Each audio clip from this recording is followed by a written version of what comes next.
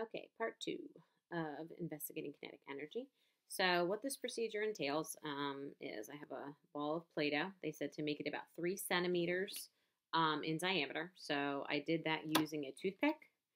I stuck the toothpick into the ball and then I marked with a uh, pen where uh, the diameter ended. And then I took the toothpick to the ruler and measured and um, got it to three centimeters, the thickness. So what we're going to do now is we're going to take our can.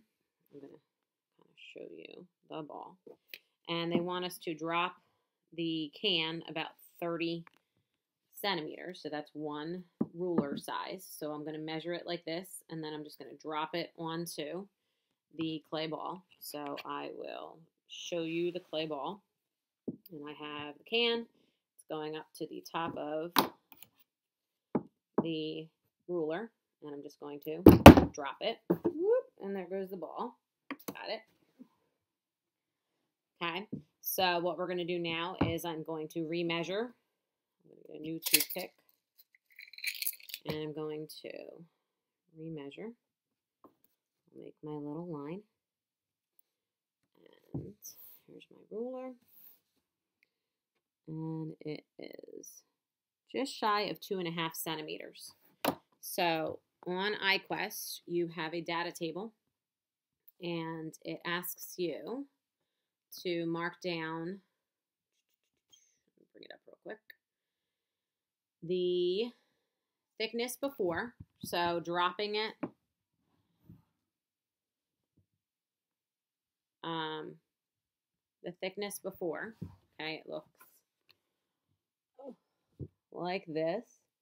Okay, so the thickness before for the dropping was three centimeters. The thickness after was two and a half. So the amount of squish is going to be the difference. So that's the part that you have to fill in. Okay, so now I'm going to reshape it. Make sure that it's back to not being squished. Okay, and this time I'm going to kind of throw it. I don't want to throw it too hard that it would go into my iPad or the computer. So, but okay, there is, yep, the ball. So I'm going to take this again, lift it up about 30 centimeters, woo, and smush it. Okay, so that time at least it didn't fly off the table. So again, I'm going to take a new pick, put it in, measure, with this. And get my ruler. And that time it was about two centimeters.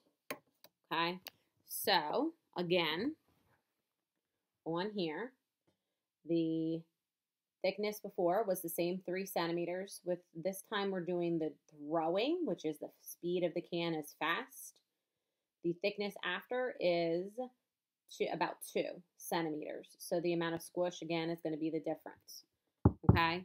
So this time around, the next table that we're going to do is the light versus heavy. And this time we're just going to do falling. Okay. So I'm going to reshape. Make sure the ball is back to kind of round. My Play-Doh is a little dried out, but that's okay. Just get it into a circle. And this time we're going to do um, on your table, again, we have um, canned mass, light, and heavy. So the light is going to be our cat can, cat food can. And on the can, flat out, it says 156 grams. So next to light, you're going to put mass in grams is 156. And then the heavy one, which is our big can of dog food is 374 grams. So again, light was 156. The heavier can was 374. Okay. Um, both times, the thickness of the clay ball is going to be three centimeters. So you can fill that in. I'm trying to navigate. Thickness before. You can put in three centimeters, three centimeters. And again, we're just going to drop this normal and then we will see what the difference is with the cans.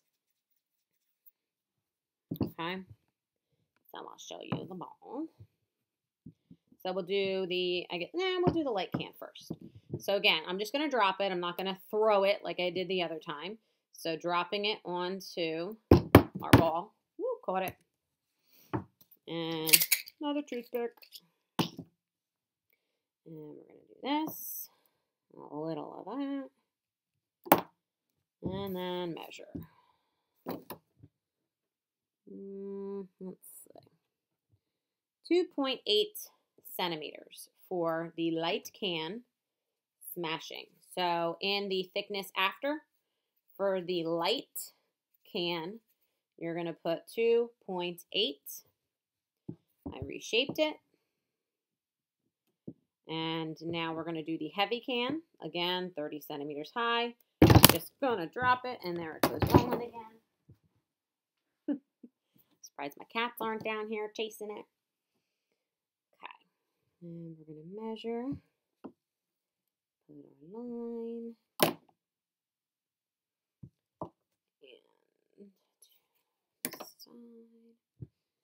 And we are at 2.6. So 2.8 was the thickness after for the light can.